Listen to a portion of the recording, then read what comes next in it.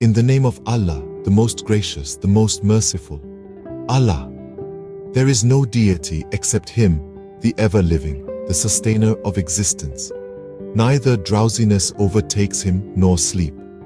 To Him belongs whatever is in the heavens and whatever is on the earth.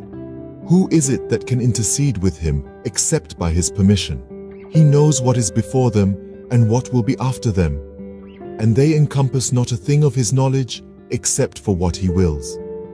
His kursi extends over the heavens and the earth, and their preservation tires him not, and he is the most high, the most great.